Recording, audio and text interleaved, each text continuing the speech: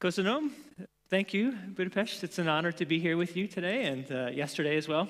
Uh, and I, actually, just because you're left-handed doesn't mean you can't play the guitar right-handed. You can ask uh, Ryan. He's over there somewhere. Yeah, he actually he's left-handed but plays guitar right-handed, so he's even cooler.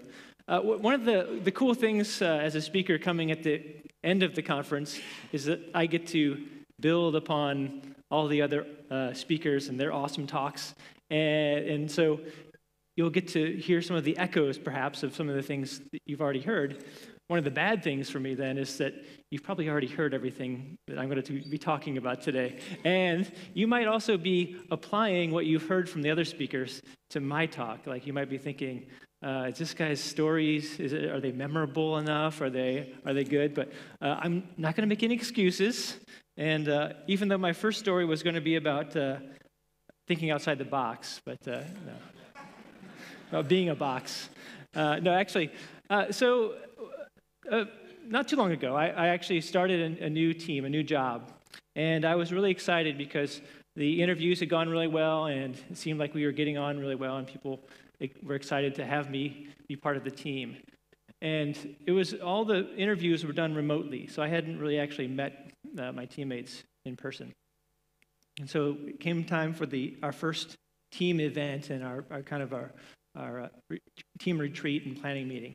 So I was really excited to contribute and to be a part of the team and impress my new teammates and show them that I was excited to be there. And so, as we were getting into planning and thinking about what we were going to be doing over the next few months, uh, I noticed that the leader of the group pulled up a, a spreadsheet, uh, Excel, on, on the uh, projector, and said, All right, let's list all of our tasks and assign everybody to, to do each task. And I was like, Well, actually, I have a, experience and background in, in Kanban and, and visual management systems, and so there's actually another way we might want to do this. It might be more uh, enjoyable, it might be a better way for us to understand our progress and manage our work in progress and see who's doing what. And the team kind of said, okay, that sounds like a good idea. And then went right back to doing the Excel spreadsheet planning. And so it's almost like uh, Alf was talking about. You know, sometimes we have ideas, not that that was a particularly innovative idea, but it was something that I felt that I could contribute to my new team. And instead of trying it, or at least uh, discussing whether that was there was merit to that idea, it ended up just kind of being put on the side and ignored. So that got me thinking about what, is it, what does it mean to really contribute to a team? And what does it mean to join a new organization or a new team and feel like you're part of the team and yet also feel like you're able to add who you are and your unique contributions and experience? So I started looking into the idea of culture add. Uh, we've probably all heard of the idea of culture fit, culture fit interviews. Maybe you've, you've done one of those. Maybe you've been part of one or you've, you've uh, had someone do that. That's really important, but I, I'd had that experience and, and yet something was not right in my experience. So that got me thinking about what does it mean to add to culture? So we've probably all, all seen this Peter Drucker statement about the importance of culture. So, culture eats strategy for breakfast. So, if culture is that important that it, it can eat strategy for breakfast, um, what does that mean to us? I mean, we, we need to think critically about our culture, not only about what our culture is today, but what we want it to be tomorrow. And so, it's important that when we acknowledge our culture need not be static, uh, that's okay. Uh, we want to understand, though, and have a serious conversation about what we want our culture to be like. So, if you're familiar with the Agile Manifesto, uh, I'm, I'm, a big fan of the Agile Manifesto, and so I tend to think in terms of these, these value statements that have tension between them, uh, because so often it's not just a either or kind of a question, but it's really both things are important, but we want to stress one thing over the other. And so my mind went to this, this manifesto type of a approach, and this is value one. I've, I haven't come up with the other ones yet. This is just the first one. So, uh, so the, the way that the Agile Manifesto is constructed is like this. So we are uncovering better ways of, and while they say talking about delivering software, in this place I'm saying we're making people awesome.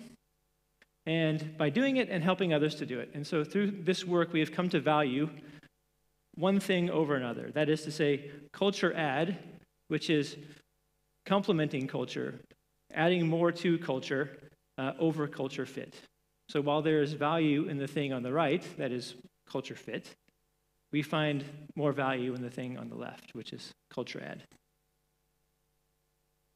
So uh, we talk about culture eating strategy for breakfast. I like food. I like pizza.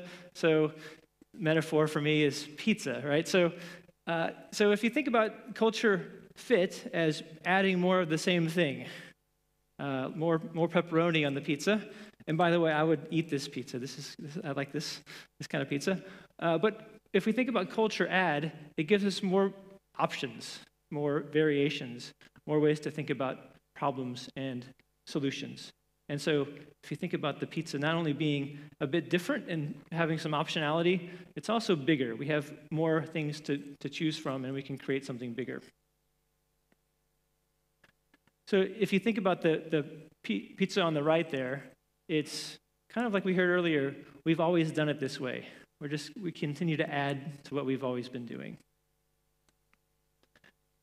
So, like I said, in, in, the phrasing of that manifesto value, it means we need both of those things. Just like in the Agile Manifesto, we talk about responding to change over following a plan. We want to have both of those things, but we want to stress one thing over the other. So, in terms of looking at culture fit and culture add, so from an organizational goal perspective, the idea of, of culture fit, it's a good thing. We want to preserve some continuity. We're probably already doing some really good things as an organization, and so we don't want to scrap everything and completely start something new. It's really it's good to have some continuity because if we bring people into our organization and they are completely at odds with what we're trying to do, they have none of the sh- same shared values, it's going to be problematic. We're not going to get very far. Similarly, we're thinking about the present when we talk about culture fit. We're thinking about what is our culture today? Uh, and that's how we want to think about new people coming into our organization. The focus is what we have, what's good, what, what can we affirm about who we are, what we do, and our values. And so then, as a, as a bias, a cognitive bias, if you will, then we, we tend to be confirming, a confirmation of what we are and what we want to be. On the other hand, culture add, excuse me, is about creating change, creating change intentionally. And so I'll talk a bit more about what it means to be doing this in a safe way for ourselves so that we do have a, a continuity in our organization still. And so the orientation uh, in terms of our time is looking toward the future. Who do we want to be in the future, not just what we are now? And so that means we have to identify what we're missing. So it's almost like if you are if you've done QA work or testing work, you tend to think when you do exploratory testing, you're finding what's not there, uh, as opposed to confirmatory testing, where you're trying to affirm or you're trying to uh, make sure that we have built what we said we would build. Exploratory testing is kind of like the culture add. And then that biases us toward learning and pushes us toward learning. So something new, it makes us think, what are some new things we can be doing? So it's really important to have both of these aspects in our organization. So Diego Rodriguez, who's worked for IDEO, he, he talks about it this way.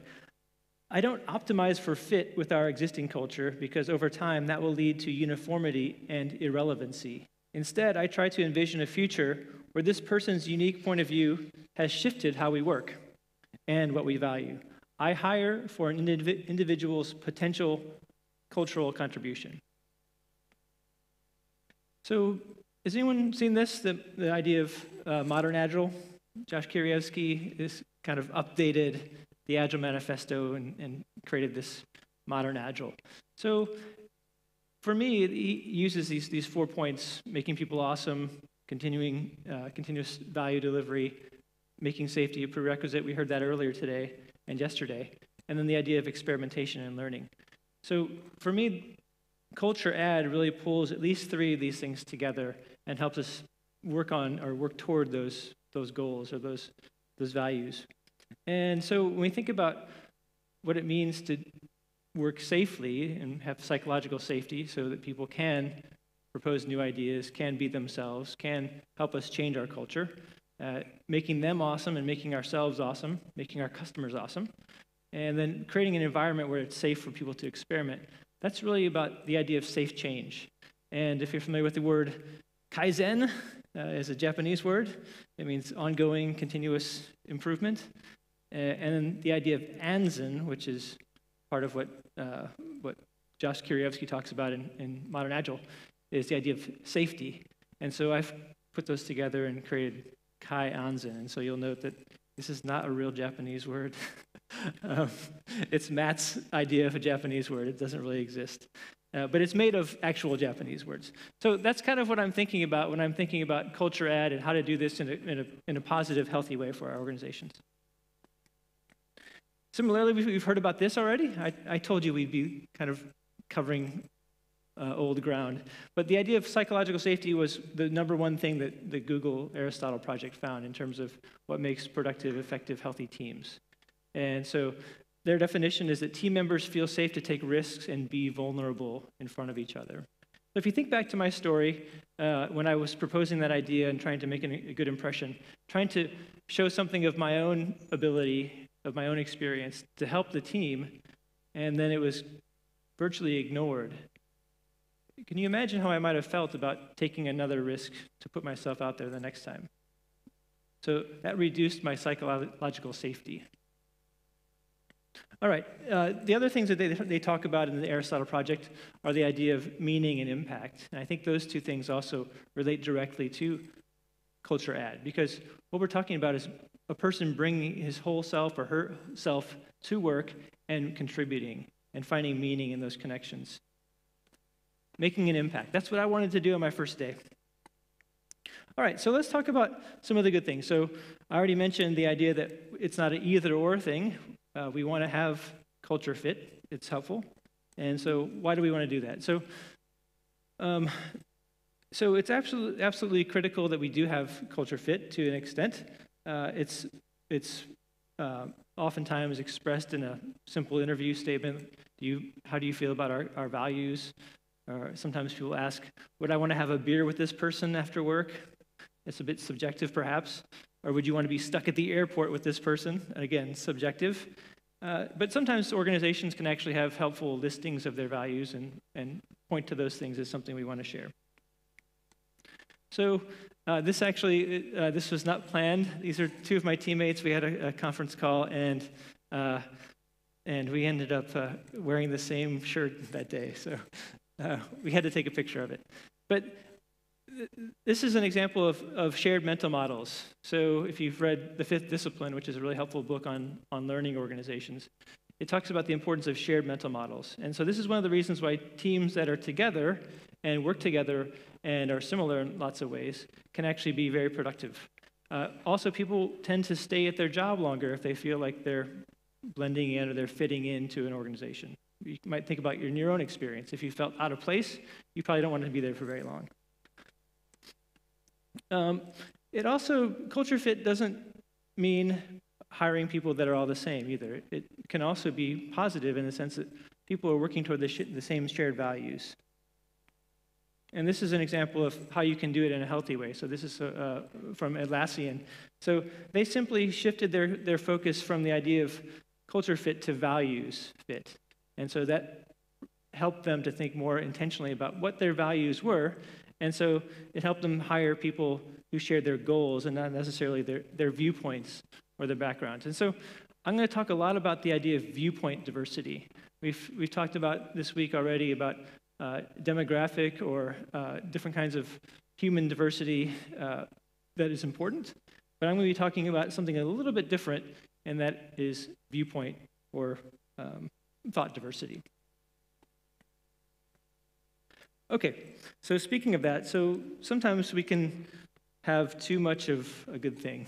So, just a couple examples of when culture fit goes wrong.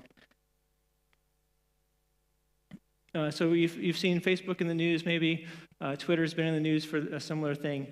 Uh, and there, there's a really powerful statement from one of the senior Facebook engineers. He says, we are a political monoculture that's intolerant of different views. And so this is really important because we tend to see diversity in, in terms of uh, things that we can see, but viewpoint diversity is something that is harder to see or that requires a different way of assessing things. And so what happens is when we have too much culture fit, we create a political or a, a viewpoint monoculture, such that we really prevent new ideas from coming in, and, and even worse, people who have different ideas are made to feel uh, silenced. So if we think about typically the definition of inclusivity, we've heard a couple definitions this week. Uh, and I propose to you that it's not necessarily about hitting our diversity or hiring targets. It's really about creating and sustaining uh, an atmosphere or an environment where people are known and they feel known by others and they, they feel that they know other people too. So it's, it's a sort of intimacy and a, a connectedness among your coworkers that does respect different points of view and different uh, backgrounds. So there's a couple other quotes from people in, in Silicon Valley. The idea that we really can, it, this can happen without us even knowing it and even being intentional. It's just because when we have birds of a feather flocking together, we tend to just exclude other points of view. And this can happen in whatever environment you're in any kind of organization that you're in. And so it doesn't even need to be intentional, it can be unintentional. Uh, here's another example.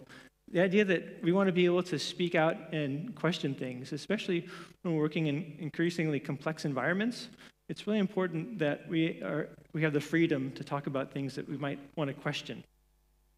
Uh, part of that is because uh, when we think about innovation or we think about uh, trying new things, experimenting, we need to be able to do that.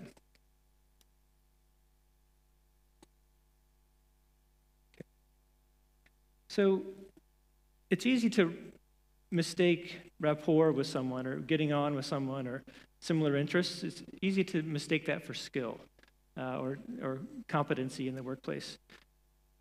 Another problem that we, can run into when we have too much culture fit, uh, or the idea of a monoculture, is that we become overconfident in our decisions. And so a lot of the research uh, is showing us that the idea of social diversity or viewpoint diversity can actually lead us to better decision making because teams that are diverse with their thought actually are less confident in their decisions.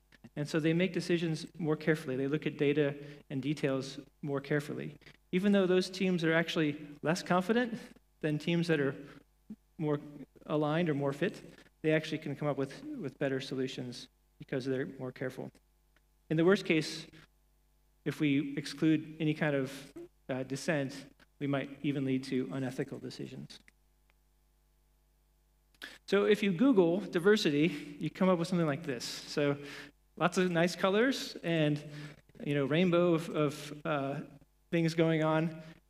So don't hear what I'm not saying. I'm not saying that hiring to create a nice rainbow in our organization is a bad thing. We need to have people from all places in life. We need to think more deeply, though. We need to think beyond just the surface level, and we need to think about what does it mean that we have the possibility of having the same thought even though people are looking different. And so this is one thing we need to think about. This is what I mean when I talk about culture add. Right, so why we want to do this? Uh, culture add, it helps us because it generates fresh ideas and it can invigorate otherwise stagnant environments.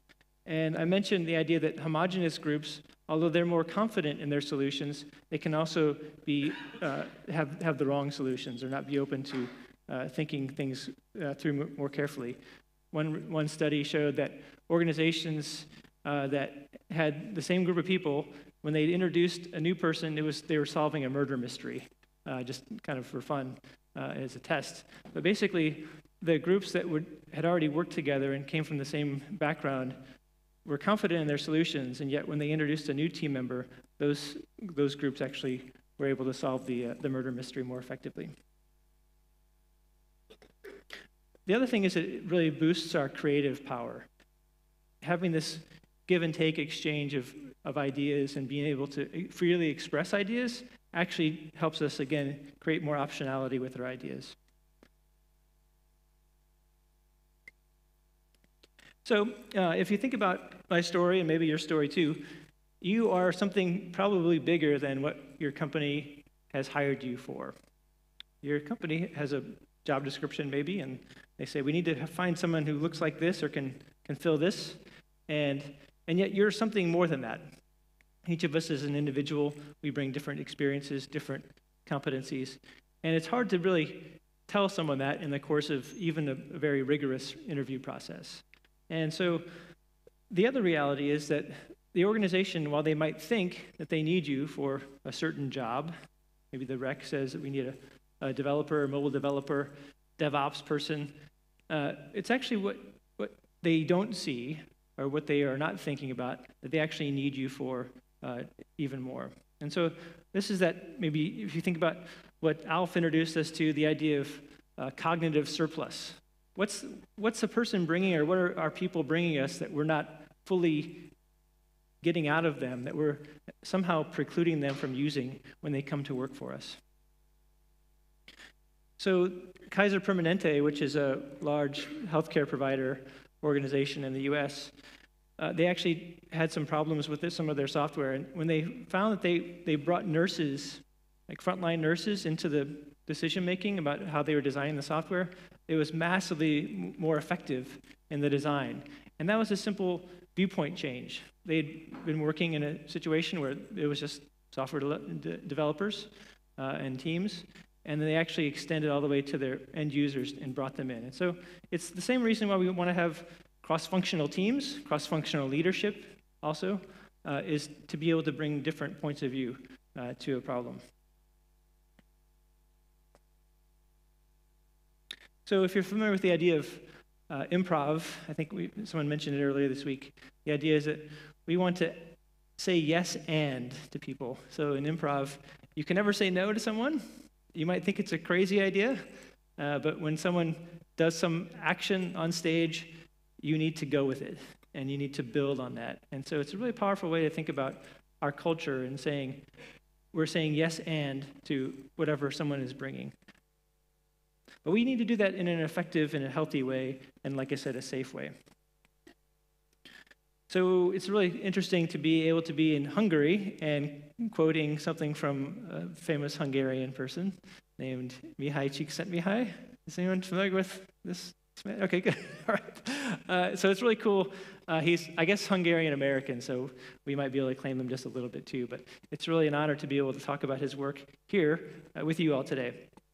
So he's, he's most known for coming up with this idea of the flow channel, or working at our most engaged state, a heightened state of awareness, heightened state of engagement. And so if you think about the idea of our challenge aligning with our competency or our ability to do that thing, that's what really helps us be in that flow channel. And we're working effectively, we're working in such a way that we're not even aware of time, and it feels good. We're always aware of the next goal. That's a really exciting place to be. That's engagement. And there's actually ways to, quantify that now, and uh, companies that do engagement surveys uh, help us to understand that in a quantitative way, a measurable way. But I think many new hires and new team members struggle to stay in this, this flow state. Uh, and it's partly because there's a, there's a lack of mutual integration.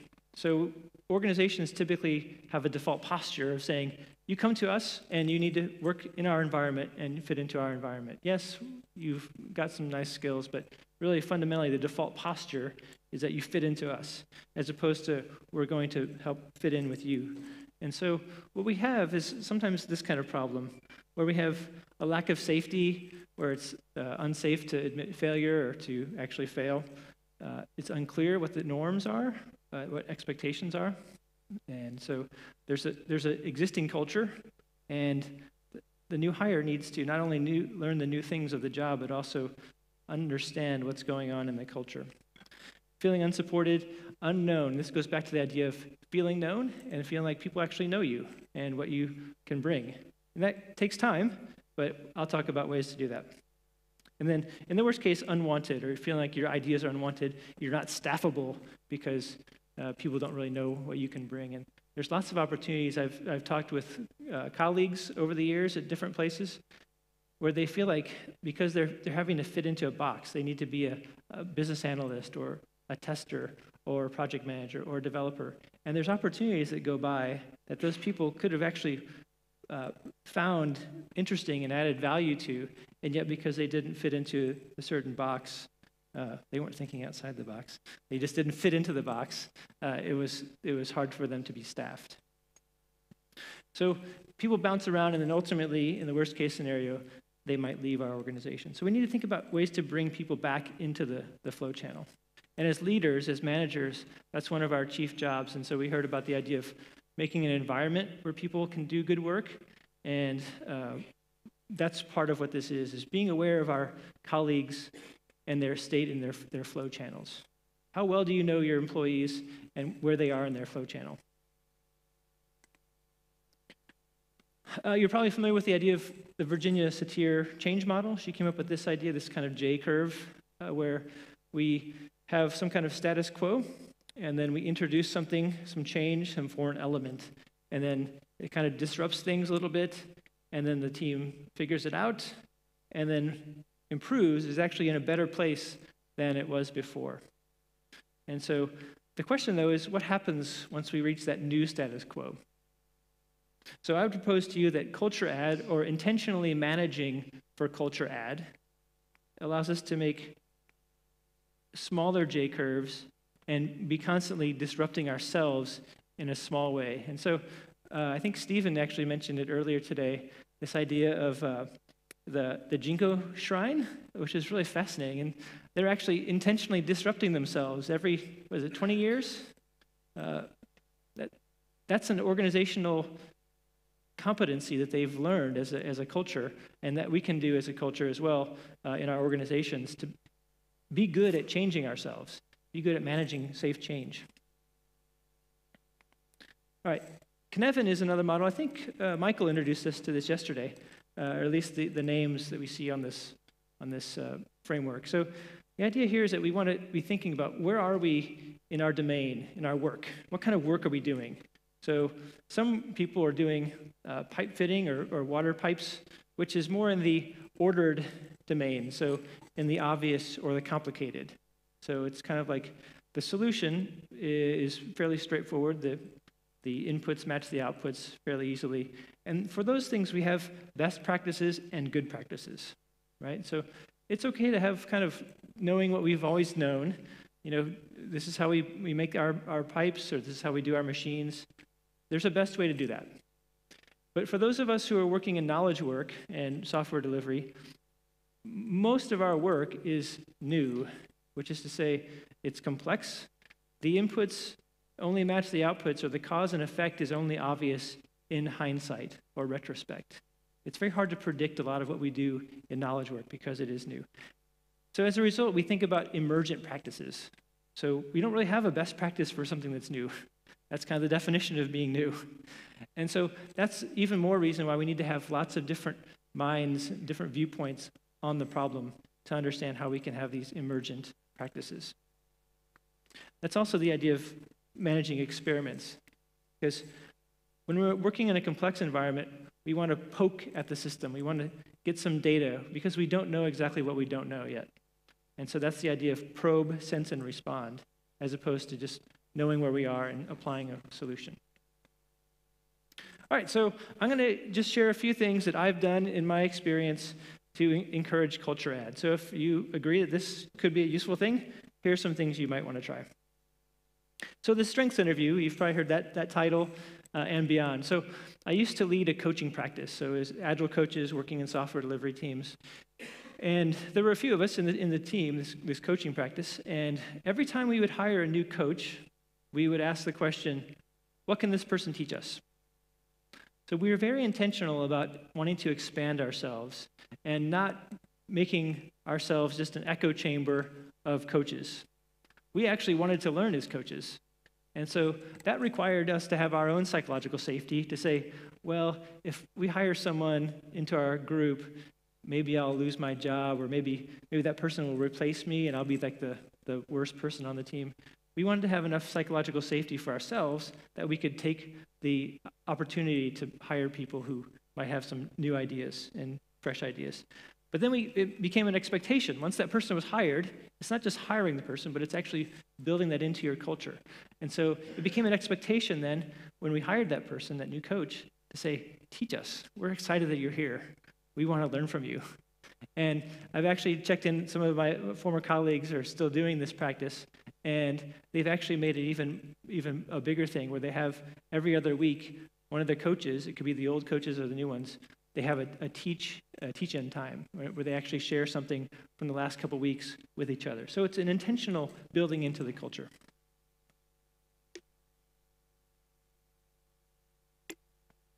So here's some, some things I've collected uh, over the, the past few months about what are some good questions to ask. And so does this person offer a dimension that our culture might be missing?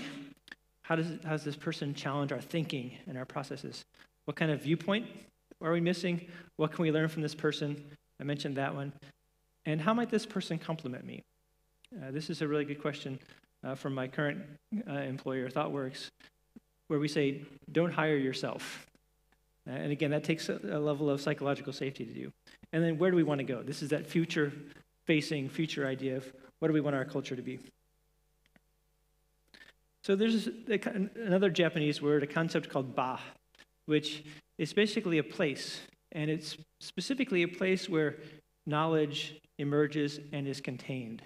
So if you think about a team space, hopefully you've worked or you're creating a team space where there's high engagement in terms of people communicating, but also visibility, information radiators on the walls. So you can see in the, in the one image on the left, there's a lot of information, whether it's card walls or whether it's just uh, expressions, people quotes, uh, something that's basically creating a new experience among the team. And so typically when we think about the culture fit interview, it, we, we bias ourselves on similar experiences. So, what school did you go to? Oh, I went to that school too. I, I really value this, this person.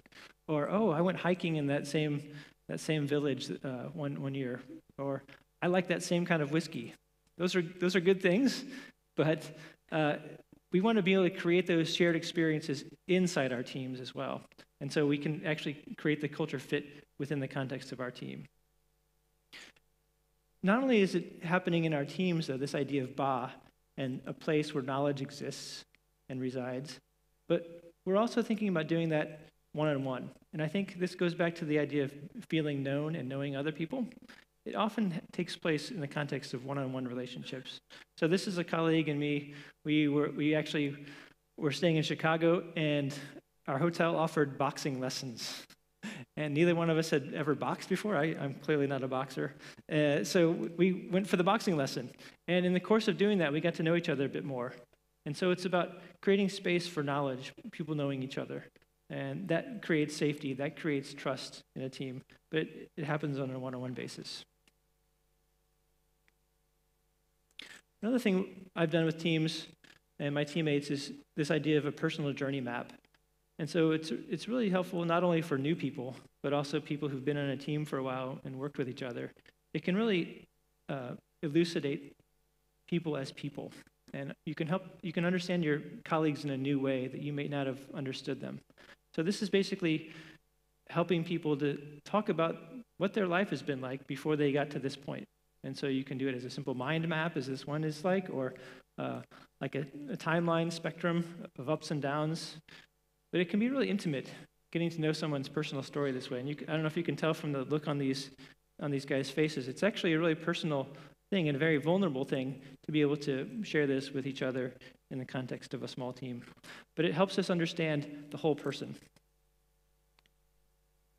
Uh, here's another example. This is a, uh, one of the things that we're doing at ThoughtWorks. I think this is from our London office. Uh, people pairing up with each other and actually drawing their personal journey. What has your life been like to get to here? And who are you? This is another one. This is called the Market of Skills activity. And so I learned this from a woman named Heidi Helfand, who's in California, not a neighbor of St. Louis, uh, like Kansas City is.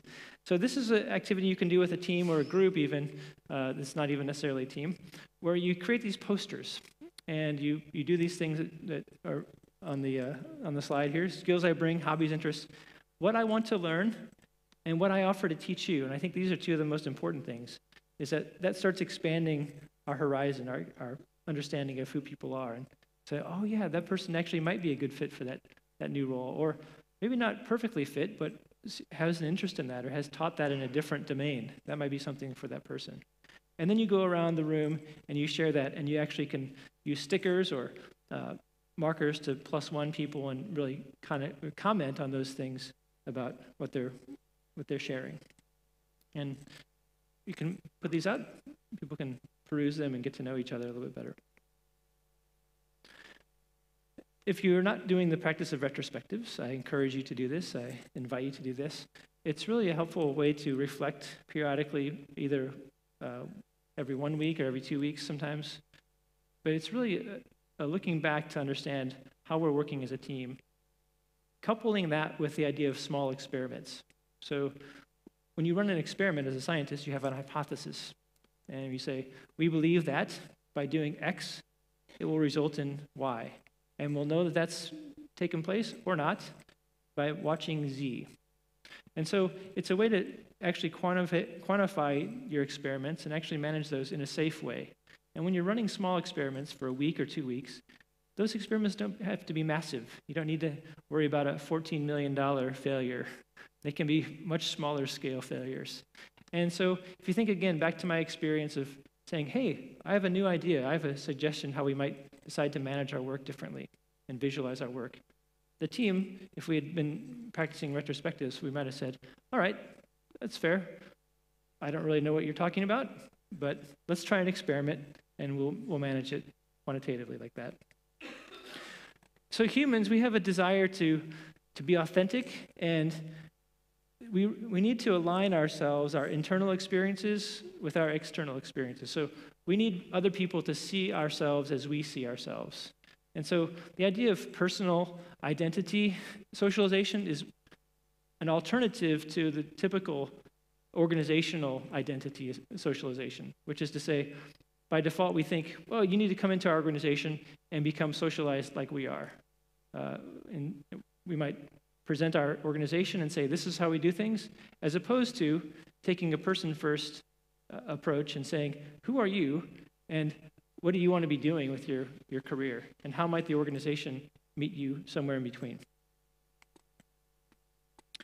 Uh, this is a, it's called personal best or personal highlight reel, some people call it, where you go around to your teammates or even your family members. You can, you can invite other close friends and family members to say, What is it that you do really well? What is it when you see Matt working at his best, his personal best? What are those things? So this gives us a perspective outside of ourselves to say, yeah, this Matt, he's really he's really excited and, and effective when he's coaching teams or when he's mentoring people or when, when he's sharing his vision and creating a vision for us uh, or doing organizational improvement. That can really guide people to think, well, maybe this person is working a bit outside of his or her role, but is being effective in ways that that person might not have even been hired for. And so this is a really effective way for creating that culture add. I mentioned Heidi Helfand uh, in the context of the market, the skills uh, marketplace activity. She's written a book called Dynamic Reteaming. And this idea is that teams change, and we might as well get used to doing it well and learn how to do it well. So she talks about the idea of dynamic reteaming. So creating that, that change intentionally, managing it effectively so that people can constantly be working in a state of flow but teams are always getting a new dose of, of new ideas and not just thinking as a monoculture. The idea of being known in communities. So if you think about the idea of a Dunbar number, so that's the, the highest number of people you can actually have meaningful relationships with. So uh, whether it's 100, 120, 150 people, that's your village. You might have thousands of Facebook friends, but really you can only have effective relationships with, with around this number. Within that, you might have bands, so groups of uh, smaller people, uh, smaller groups of uh, people around 50, not necessarily smaller people. Uh, and then hunting parties. These are maybe your delivery teams or your, your scrum teams if you work in that context. The two pizza team. And then the smallest number is your, your confidants.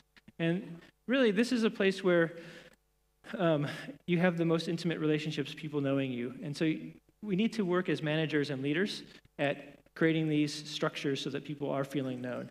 There's research that shows that if you go for uh, more than a couple of months without having a meaningful conversation with someone, you will effectively lose all trust with those people. All right, so in teams I've led, I've, I've done this thing called an autonomy support meeting. So this comes from Daniel Pink's book, Drive, where we are talking about how do we flip the organizational hierarchy such that the manager is now working for the employee. And so I would occasionally get together with the people on my team that I was leading, and I would say, how can I, how can I serve you? What do I need to be doing differently to make you a more effective uh, teammate? And so I can assure you it's, it was much more positive for this guy uh, than it looks like on the screen. He's uh, actually, this is after our autonomy support meeting. But basically, it put me in a position where I said, You need to give me homework. I'm not going to give you any homework. Uh, you don't work for me, I work for you. And so this is a way of really intentionally building that in. So to conclude, uh, I'll leave you a, with a quote from Ed Simon. This is a quote from the book Fifth Discipline, and particularly the idea of we must balance our desire for continuity with our desire to be creative. So this goes back to that tension between culture add and culture fit. We need both, but in order to survive in our organizations today, to be innovative, to be able to work in these complex environments that we're in, we really need to be stressing culture add. So here's a list of references. I'll have these posted on, online if you want to uh, check these out later. But thank you, Köszönöm. And I think, I don't know if we have time for questions, but thank you.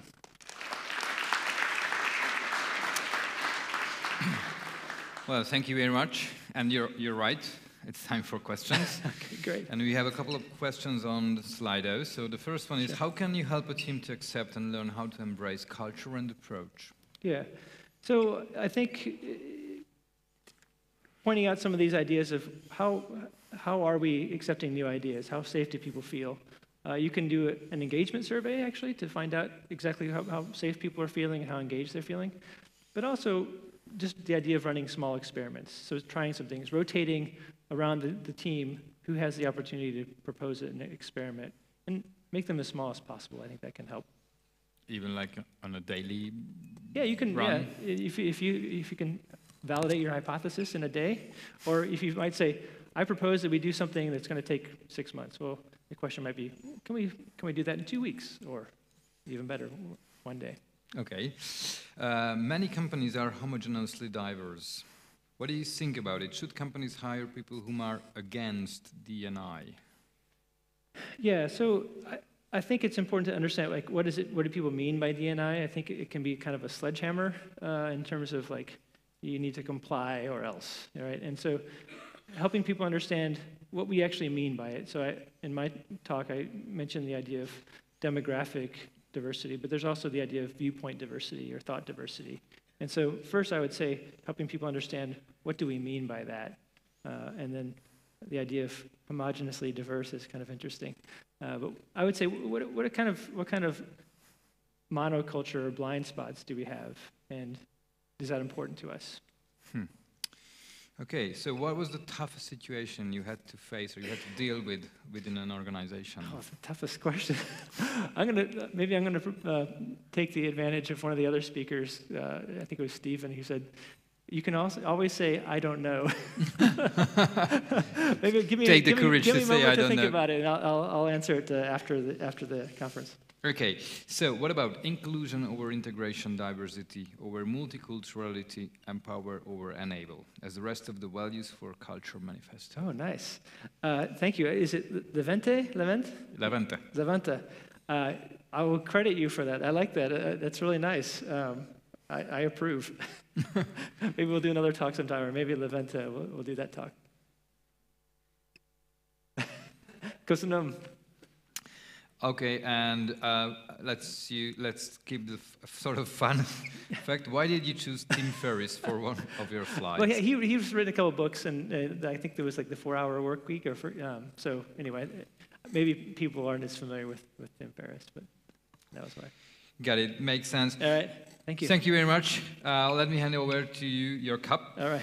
And thank you very much. And please uh, go back to Slido now, and you can rate Matt's speech. Okay, thank you.